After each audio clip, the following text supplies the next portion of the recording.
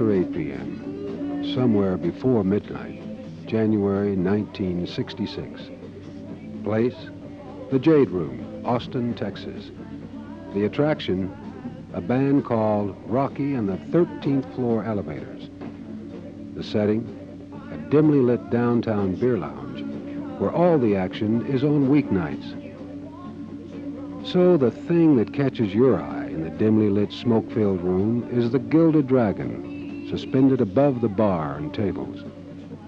The smoke, reflected from a few well-placed lights, suggests an incense burned to gods that have no knowledge of you or I. But the eye of God is not important here.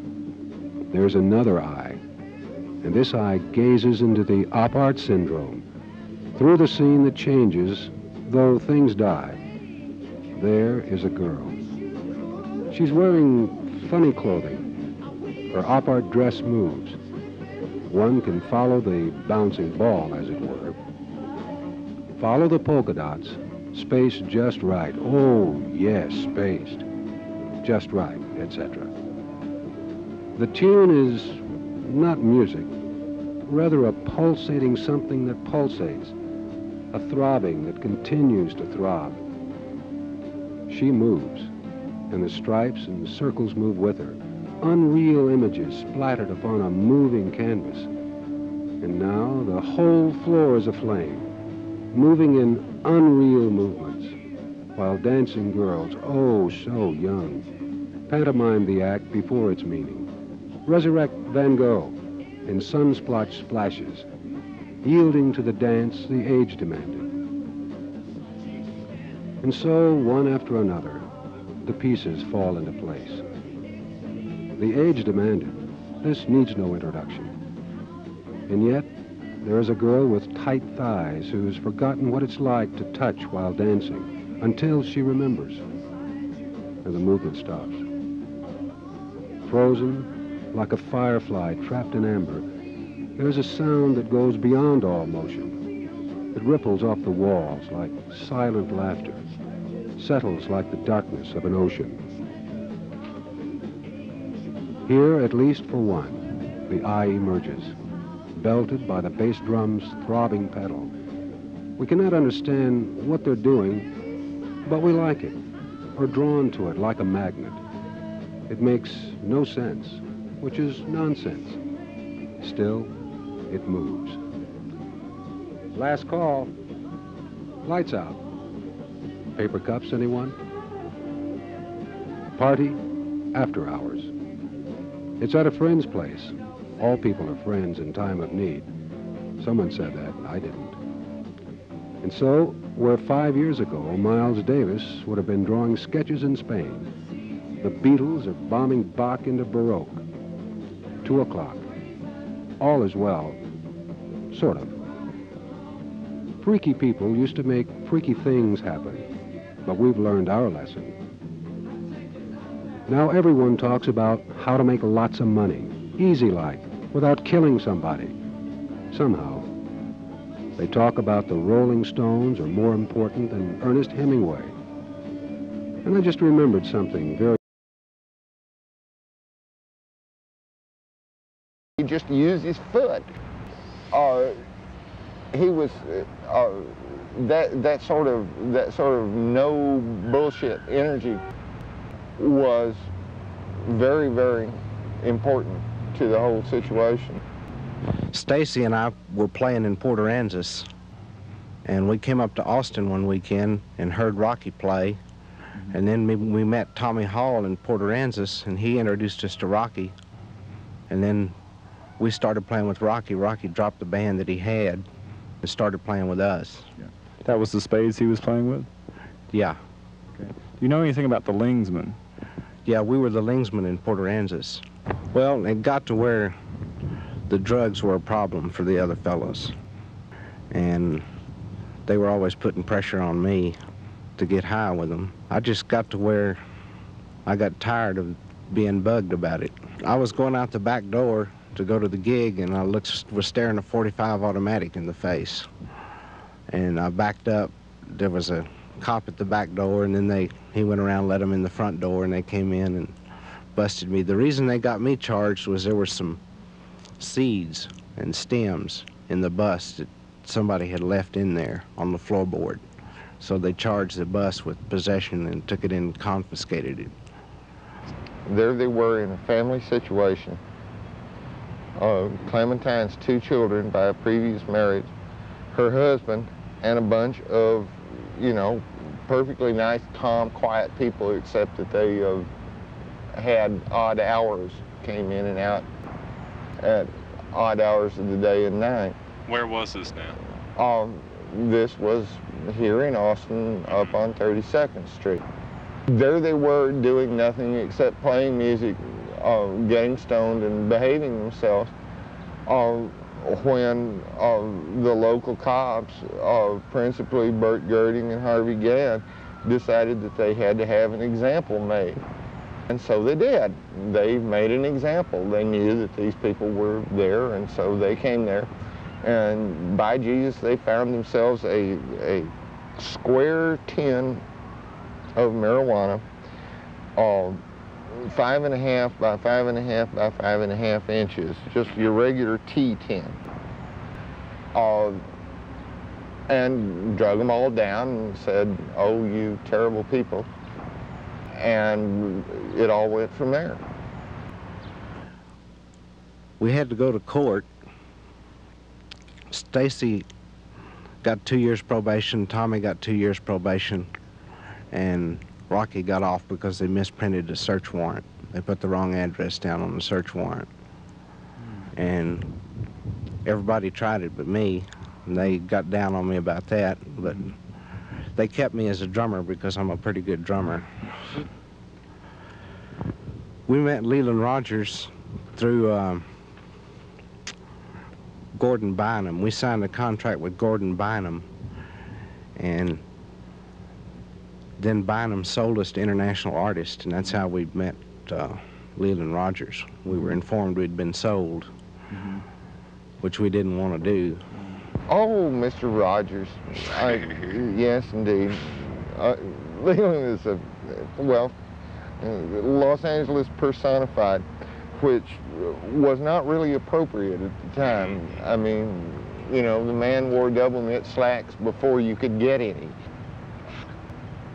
Uh, it was it was great, and uh, he he tried his best to promote these people as an act, and they weren't an act. They were a, they were a fact. They were a, a, a phenomenon. Uh, and he never got that, and so many arguments ensued. Good-hearted man. He was trying. We played about, oh, three months before we went to California in Austin. And we came back to Austin after California and recorded our first album, and then we played in here in Texas. The crowds were bigger after we'd gone to California. The sessions took a long time. They had a lot of technical problems getting us recorded, getting a good balance and everything. The sessions were very tiring. So by the time we got through with the song, we were exhausted with it. We cut our first album in eight hours. We mm-hmm. drove in from California. We arrived at Dallas at 3 o'clock in the morning and went into the studio that were then. Started recording our first album. They didn't even give us a break. We just, as soon as we got there, they opened the doors and said, come on in. What did you get from international artists? I got, uh, I think at one time, about $350 from them. Is that all? That's all.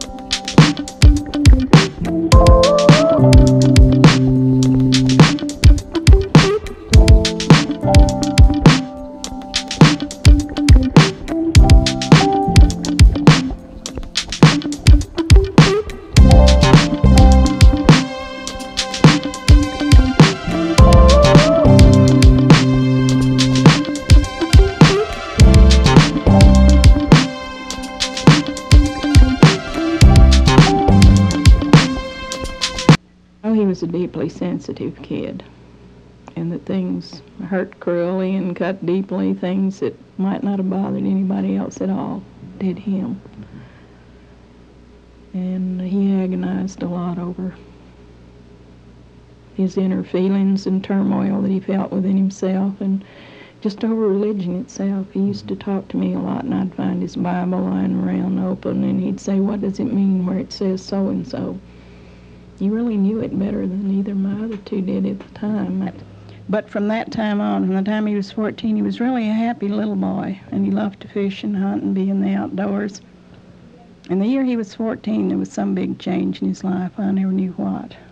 From that time on, he, he seemed sort of depressed and um, maybe he was just thinking his own thoughts. He daydreamed a lot, which mm-hmm. is common to adolescents, and I thought that's what was happening to him. He was just mm-hmm. growing up, you know, and having a kind of a bad time of it. But there were evidently a lot of things changing in his life at that time. Mm-hmm. Sort of a sad look in all these pictures from that point on.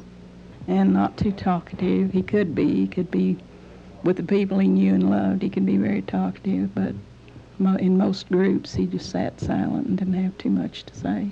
A lot of the kids at the Jade Room when he was playing there called him the Dark Angel. And there are pictures of him at that time just bathed in perspiration, you know, and so intent on what he was doing that he was just like he was in another world almost. He spent hours and hours practicing. He'd go back to his bedroom and play these records by different guitarists. Chet Atkins, he got his first. And there were, I can't even remember the others, but I just know he'd buy them, bring them home, and play until he could. You could be in another room, you couldn't tell the difference. Was one of his uh, favorite songs uh, "The Man Who Shot Liberty Valance"? Oh yeah. Tell me about that. Well, his brother came back telling him about this movie he had been to and wanting him to go see it, and it made a big impression on him. He went around singing that for days and days. I know another of his favorites in high school was Tell Laura I Love Her. He must have played that two million times every night. I'd threaten to throw him and it both out. And then he began to play hooky, and he'd go off and so I got where I wouldn't let him take the car. I'd take him and put him out in front of the school and take the car on with me. And uh, once, well, in his senior year, he'd been he'd missed 18 or 19 days out of that six weeks, and I said, "Where were you? Down on the river. What were you doing? Playing my guitar. Why didn't you go to school? I let you out at the door." I don't know. I got there and I looked at the door and I just got sick. Couldn't go in. I was physically sick. So he just turned, walk away, and go down on the river and play his guitar. I had one of the teachers say to me, Well, I think he was on drugs. Now, whether he was or not, I can't say. I asked him one time later, You know, where did you get drugs? And he said it was the clean cut college kids that came home from the weekends on from at Austin that brought it here. It was under a rock up Town Creek. And it wasn't just now, it'd been there for years. You couldn't kick over a rock, you couldn't find some. And of course, Tommy and, and Roky and the whole group became interested somewhat in Zen and in some of the Eastern religions. Tommy is a very, very articulate and educated person, and he was older by five or years at least than the other kids were. And he knew about a lot of things that they didn't really know about, and I feel like uh, he he directed some of their interests for a while now. I could be wrong. He um, back when he was in high school, he used to go out to a certain teacher's house, and I got kind of perturbed over that because here was a a lady teacher who lived alone, and she was probably in her fifties, and all the high school boys were going out there. And I thought, why? I myself had been in her home, and she had walls of books on on religions. And he said, That's all we do, Mother. We go out and talk about religion. You won't believe that, but that's what it is. She knows everything, and, this may have been the beginning of some of this Zen and Eastern religion. I don't know. Really, the band, I feel like, in listening to them talk, that it was a religious experience to them. They thought they had found something that was a way for people to understand one another and not hate one another anymore, but just love one another a lot. And then he just told me two or three times about experiences he had had. He said once when, when he was in jail that he saw a small light that at first seemed like a pinpoint of light to him. He was lying in a bunk toward his feet and on the wall, and that it began to grow and grow, and it got bigger and bigger until it filled the whole room, you know, with light. And he said, I've never forgotten how I felt. And I knew that God was with me and that He was watching over me and that nothing really bad was going to happen to me. It reassured me and calmed me. And then another time he was talking about seeing a tree and that it looked like it had a diamond on the tip of every leaf that it was so gorgeous and so beautiful. And he said, You can't tell me things like this come from Satan. That they're, they're heavenly visions and they're sent by God. And I'll defend that with my life, and you can't ever make me believe it's rotten or wrong or bad. And when I used to plead with him, I'd say, Well, look at the band and the things that have happened to all of you. And if you were really right, it looks like something good would happen and come of it, you know, and not just all the bad things that have because Roky had gone to Rusk and Stacy had gone to prison. I think he turned to drinking. When he went over here to the state, when they said there wasn't anything wrong with him, they said, true, he has experimented with drugs, but he is not addicted to any of them. But he does have an alcoholic personality. And if he doesn't get hold of himself, this may be the route he'll take. I don't guess anyone ever re- will really know what really happened other than what Bunny knows in her own heart about it. I told you that she called me three times during the time they were married, which was about 15 months. It was always at 3.30 in the morning and told me she was going to kill him. And this would throw me into a panic, of course, and I and I tried to tell him, you know, what she had told me on the phone, and he kept saying she do- she doesn't mean it. She's a gentle, sweet girl, and she would never do anything like that. And I'd say, well, why does she call me? Why does she? It was just like a different person. She was afraid of him, and he he had earlier bought a gun, a 22 gun, and some shells, and showed her how to use them. And he bought hollow point shells and the boy who lived with them, this Tony, said when they came in, she was sitting in the kitchen with a butcher knife. And he tried to talk to both of them because they were both angry. And they had been arguing earlier in the day. And they went out and drank some beer and came back, and he was still angry, and she was too, and they were arguing and he tried to say something to him and he said stacy said to him keep out of this. You know it ain't your affair. And he said i went off into my room then and shut the door. Then i heard the shot.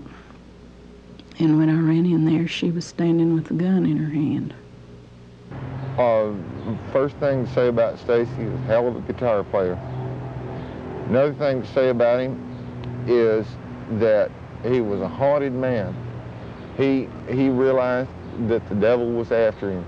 Uh, I'm I'm not sure why he concluded that, but he did. And uh, so he would sit there and play the guitar, and uh, the devil was two steps behind him all the way, and he wasn't sure whether that was because he was uh, consorting with the wrong people or because he hadn't prayed that night or, or because he was fooling around with fancy women or what. Uh, but he knew the devil was after him. And uh, I miss him a lot. I saw the kind of consciousness it was bringing about, and it was paranoia. There wasn't anything I could do to stop him from doing it. I tried to get Stacy to stop, but they just argued with me.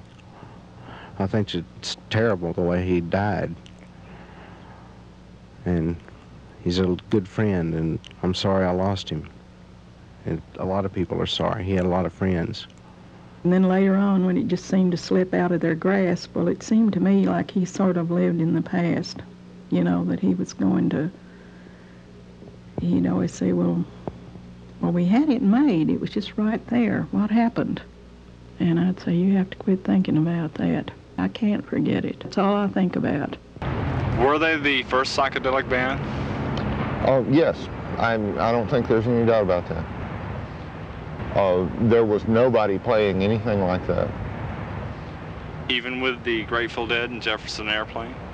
Well, uh, you know, I ran across some of those people too. And, uh, no, they were, they were taking dope together, but they weren't making music together on the dope, if you see what I mean. Only later, after they were allowed to by Tommy and his bunch. I mean, just consider what courage it takes to stand up on the stage in New Orleans, stoned on, mescaline, and do your best. Uh, you know, most people weren't ready to do that. Did the elevators take psychedelia to California? Don't know. Just don't know. I think in a way they did, but there's always the dead. You know, you can't get around the dead. Right. Did psychedelia originate in Kerrville, Texas? no. Flat no.